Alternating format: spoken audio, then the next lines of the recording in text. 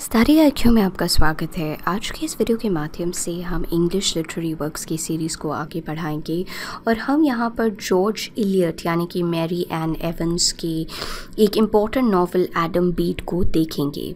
Adam Bede एक important novel है, जो कि अक्सर आपके एग्जामिनेशन में पूछी भी जाती है।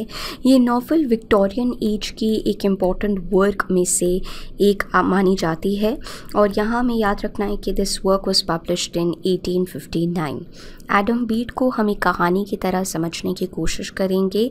यहाँ आपको याद रखना है कि वैसे भी जॉर्ज इलियट के जो सारे वर्क्स हैं, वो आपके लिए काफ़ी ज़्यादा ज़रूरी हो जाते हैं।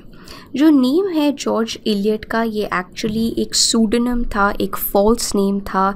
इनका असल नाम था मैरी एन एवंस तो यहाँ आपको याद रखना है कि विक्टोरियन सोसाइटी में विमेन नॉवलिस्ट जो थे, जैसे कि आपके शार्लेट ब्रॉन्टे हो गई, उन्होंने करर बेल का सूडनम लिया। तो विमेन नॉवलिस्ट को अक्सर सूडनम यानी कि फॉल्स नेम लेने की ज़रूरत पड़ रही थी।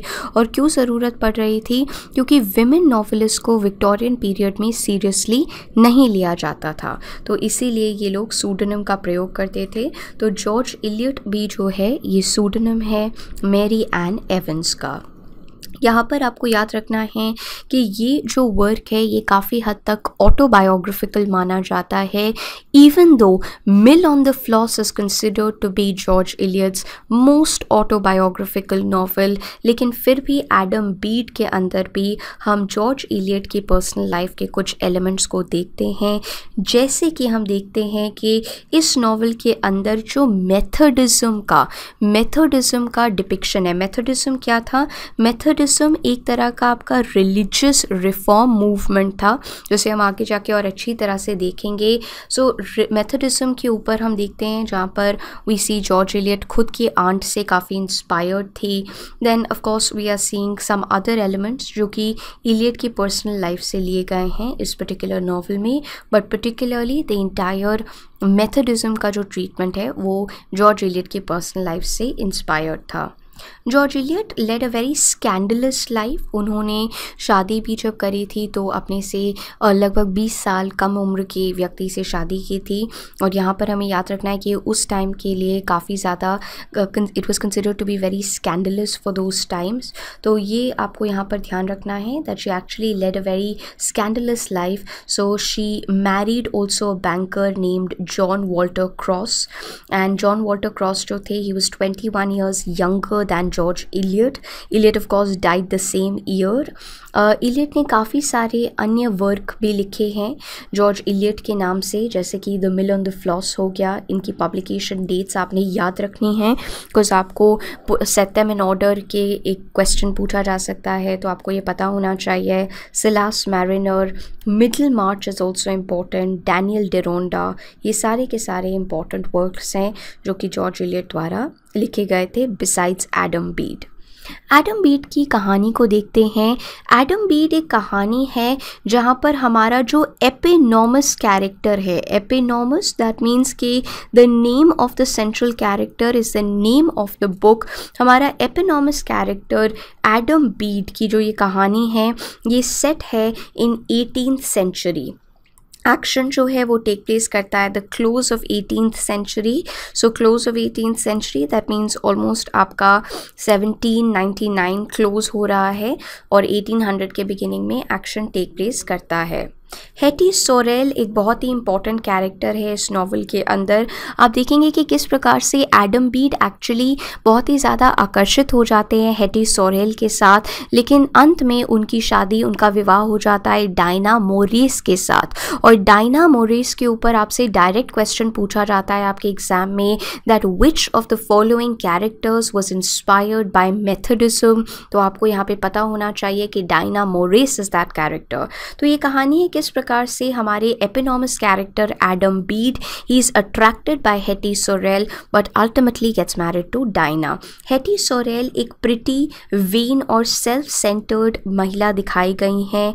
She is the niece of the genial farmer Martin Poyser तो ये मार्टन पोइसर की नीस हैं। हेटी सोरेल एडम बीड के द्वारा बहुत ही एडम बीड बहुत ही ज़्यादा पसंद करते हैं हेटी सोरेल को। So Hetty Sorrel is actually the centre of love for और एडम बीड एडम बीड जो हमारे टाइटुलर कैरेक्टर हैं, ये विलेज कारपेंटर हैं और हेटी सोरेल जो हैं she is actually very attracted towards Arthur Donnithorne Donnithorne Arthur Donnithorne जो हैं, उनसे हेटी सोरेल काफ़ी ज़्यादा आकर्षित हो जाती हैं। और यहाँ आपको याद रखना है कि आर्थर डोनीथॉर्न एक्चुअली एक बहुत ही थॉटलेस यंग स्क्वायर हैं।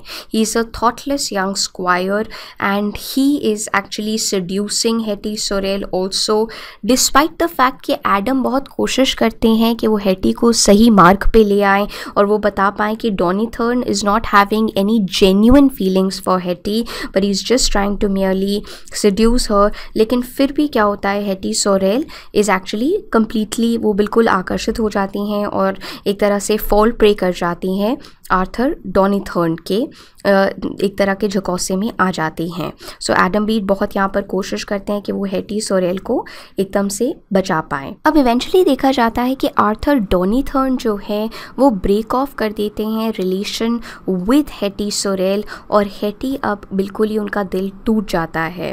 अब ये जो हेटी है, जिनका दिल टूट गया है she agrees to marry Adam Bede लेकिन यहाँ पर हेटी को पता चलता है कि उनके कोख में एक बच्चा जन्म देने वाला है। So before the only Hetty Sorrel discovers that she is pregnant and therefore वो भाग जाती हैं ताकि वो आर्थर डोनीथर्न को ढूंढ सके और वो आर्थर डोनीथर्न को ढूंढ नहीं पाती हैं। तो यहाँ आपको याद रखना है कि हेटी सोरेल को पकड़ लिया जाता है और उनको चार्ज लगाया जाता है इन्फेंटिसाइड का, क्योंकि वो एक बच्चे को मारने की कोशिश करती हैं। एंड मोमेंट पर उनका जो जो पूरा का पूरा शी सेंटेंस के उनको फांसी चढ़ा दी जाएगी लेकिन she is actually saved from the gallows क्योंकि आर्थर डोनिथर्न आ जाते हैं और हेटी सोरेल की पनिशमेंट थोड़ी कम हो जाती है। तो अब उनको फांसी नहीं दी, दी, दी जाती है पर उनकी जो पनिशमेंट है वो थोड़ी कम हो जाती है। अब प्रिजन के अंदर हेटी सोरेल अपनी कज़न डाइना मोरिस के द्वारा कंफर्ट की जाती हैं। सो डाइना मोरिस यहाँ पर आके हेटी सोरेल की बहुत ज़्यादा मदद करती हैं। तो यहाँ पर हमें याद रखना है कि Dinah Morris is actually representing एक तरह का काइंड वर्च्यू ये वैसे ही मेथडिज़म को फॉलो करती हैं। तो ये एक तरह का कॉन्ट्रास्ट है हेटी सोरेल से। तो यहाँ आपको याद रखना है कि Victorian novelist are always juxtaposing two things together तो यहाँ पर हमें जक्सटपोज होता है हेटी सोरेल और डाइना मोरेस तो Dinah Morris is actually a foil foil का क्या अर्थ होता है? ऐसा कैरेक्टर जो कि आपसे एकदम अलग है और तभी आपसे अलग होने की वजह से ही आप उस उस कैरेक्टर के फीचर्स को समझ पाते हैं। तो हमें यहाँ पर हेटी सोरेल के character is actually a foil to Dinah Morris क्योंकि हमें इन दोनों के कैरेक्टर्स के बारे में पता चलता है कि how they are contrasting each other Dinah Morris एक मेथडिस्ट प्रीचर हैं। ये क्वेश्चन आपका डायरेक्टली एग्ज़ाम में पूछा जाता है। Who strong and serious calm nature is contrasted with nature throughout the novel तो डाइना मोरीस जो हैं, इनका नेचर हेटी सोरेल के नेचर से throughout the novel compare किया जाता है। लास्ट चैप्टर्स में हम देखते हैं कि एडम को पता चल जाता है कि डायना मोरिस उनसे प्यार करते थे। इवन दो एडम का जो भाई है सेथ वो बहुत ही सालों से डायना को प्यार करता है, लेकिन फिर भी हम क्या देखते हैं कि सेथ जो है he forgives his he lets his love for को वो फोरगो कर देते हैं अपने लव को एडम के लिए एंड इवेंचुअली एडम और डायना का विवाह हो जाता है। यहाँ पर आपको याद रखना है कि ये novel is an example of realism realism का ये एक इंपॉर्टेंट एग्ज़ाम्पल है. Adam Bede is actually considered to be the best examples of realism और यहाँ हमें याद रखना है कि realist usually focus on characters than on plot और ये जो रियलिज्म का फॉर्म था, ये रिकॉर्ड करता है life exactly as it is, without interfering into any other things. Literature में हम यहाँ पर देखते हैं कि हेनरी जेम्स हो गए, ये भी एक रियलिस्ट राइटर्स है। इन्होंने भी कहा था कि Eliot is actually one of the profound influences on his writings. तो ये क्वेश्चन भी आपसे पूछा जा सकता है कि हेनरी जेम्स किससे इन्फ्लुएंस थे? हेनरी जेम्स जॉर्ज इलियट से इन्फ्लुएंस थे। वर्जीनिया वुल्फ भी, हमारे काफ़ी जो मॉडर्न राइटर्स हैं, वो जॉर्ज इलियट को बहुत पसंद करते थे। वर्जीनिया वुल्फ भी जॉर्ज इलियट से काफ़ी ज़्यादा इन्फ्लुएंस थी।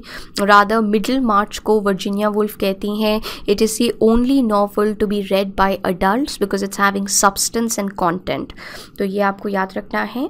तो ये रियलिज्म का एग्ज़ाम्पल है। मेथडिज्म जो रिलीजियस रेफॉर्मेशन का मूवमेंट था, देखिए मेथडिज्म एक बहुत ही अहम भूमिका निभाता है एडम बीड में। ये एक प्रोटेस्टेंट मूवमेंट था, जो कि इंग्लैंड में स्टार्ट हुआ था 1729 में। ये आप याद रख सकते हैं जॉन वेस्ली और उनके भाई चार्ल्स वेस्ली तो ये 1729 जॉन वेस्ली और उनके भाई चार्ल्स वेस्ली ये दोनों पॉइंट्स आपने नोट डाउन करके याद रखने हैं। ये मेथोडिज्म से रिलेटेड हैं।